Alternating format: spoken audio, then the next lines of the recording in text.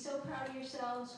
We're so proud of you. A flurry of champagne flutes and red envelopes. So much has happened between August 2015 and today. At the University of New England campus, resisting SIPs and the urge to open them until these medical students get the cue. Interestingly, I wanted to be an architect. Annie Lou remembers exactly when she realized she wanted to be a doctor. My mom had gotten sick, and I was really inspired by the doctors who had treated her and taking care of her. Um, sadly, I lost her, but I realized that I wanted to do more. It's match day, and Lou is among the more than 120 students about to learn where their medical training will take them next, which hospital they've been assigned to for their residencies. I think I'm going to feel a huge sense of relief to know. They found out on Monday that they had matched, they just don't know where. Jane Carreiro is the Dean of the College of Osteopathic Medicine. She says in Maine, there's a major shortage of primary care physicians. A significant portion of our doctors are over the age of 55 and 65. They're going to be retiring soon.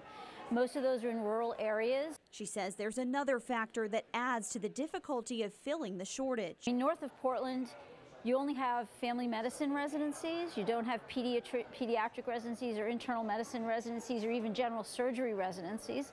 So um, if a student doesn't get into the Maine Med system, um, they really have to go out of state.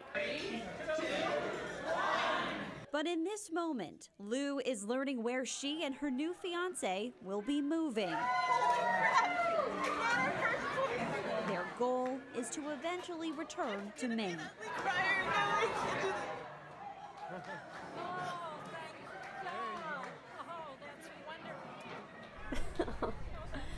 so sweet. I loved that moment. So there's a new effort also to provide more residency opportunities. Senator Susan Collins has backed a bipartisan bill to authorize nearly $650 million over the course of five years to train medical residents in community-based settings, including rural areas like we have here in Mm. Maine.